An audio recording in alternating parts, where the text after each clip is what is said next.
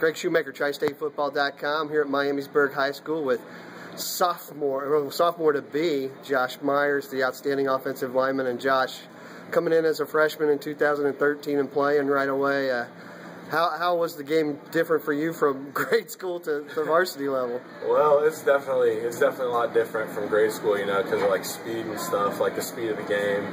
Everybody's twice as big and as strong, so it was definitely different, but it was it was a smooth transition from middle school to high school football. For you, you're in a rare situation. Uh, you already have offers from Tennessee, Kentucky, Indiana, Michigan, to name a few. Uh, and you, going into your sophomore year, I mean, that's got to be pretty awesome to know that you're already wanted at such a young age. Oh, I mean, it's a dream come true for me. Honestly, I just, I'm just glad that they believe in me enough to offer me so young, you know, because it's a long way away and anything can happen. So I'm really glad that they they have faith in me that I'll finish it out great and everything. So, but it's been it's been awesome. You know, your brother plays at the University of Kentucky, and he is getting playing time down there. I did notice that. Um, what did you learn from him as, as, far as your offensive line skills? What I mean, what have you learned from him to to make yourself a better football player? Um, I've learned well. The biggest thing that he's taught me has been mostly like just how you carry yourself and stuff. You know, like not to always stay humble, always work hard, and that's mostly been the stuff that he's uh, he's preached to me about, and that's really helped me. But he, you know, he'll help me with stuff like before I go to camps, or he'll teach me like the right way to kick slide and post step and stuff like that. So looking at uh, next year, you're going to be the lone returning starter on the offensive line. Yes. You're only going to be a sophomore, but you're going to be asked to be a leader. Uh, what do you plan on doing to make yourself a better leader this offseason?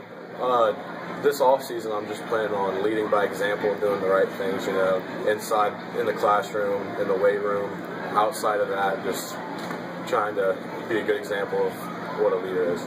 The best part of being recruited at such an early age, what have been some of the, the coolest things that have happened to you so far? Um, the coolest things have been like you know when you when you're a little kid, you like look up to high school players and stuff, and like you know you hear of kids going to college, and you're like you're you uh, like like you look up to them big time, and so it's been really nice. Like kids will talk to me and stuff. I think that's been the coolest part of part of all. I mean, and of course, well, I mean, it's a dream come true. I mean, like what nine months ago or something like that, I was just stoked to be starting on the varsity team. So it's been an insane ride since. Well, let's talk about being stoked next year for your offense. Talk a little bit about this team and what do you like about what's coming back next fall? Um, well, I like I like how we keep it on the ground. Really, we don't we don't pass a whole lot. We do mostly the run game, and uh, I'm really excited. We have a really good junior class of offensive line, and we have a couple seniors too that are coming back. So I'm really excited. And then our whole backfield pretty much is coming back, minus our quarterback. So I'm I'm expecting great things, and I'm really excited. There you go. Josh Myers, the fine offensive lineman for the Miamisburg Vikings. Uh, only going to be a sophomore, but you'll be hearing a lot about him over the future. And Coach is going to be very happy knowing that he enjoys having the football on the ground behind him. I'm Greg Shoemaker for TriStateFootball.com.